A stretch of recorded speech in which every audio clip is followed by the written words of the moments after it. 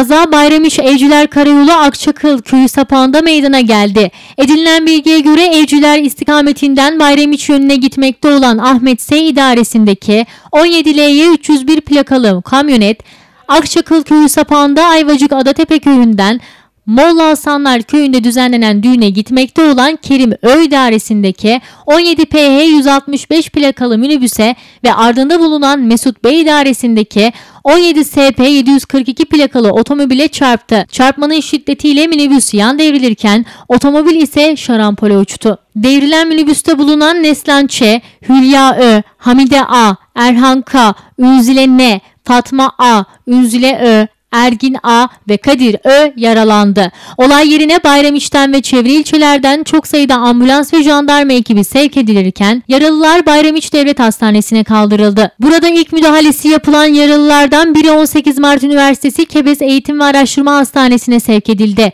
Kamyonet sürücüsü Ahmet S'nin olay yerinden kaçtığı öğrenilirken otomobil sürücüsü Mesut B kazadan yara almadan kurtuldu.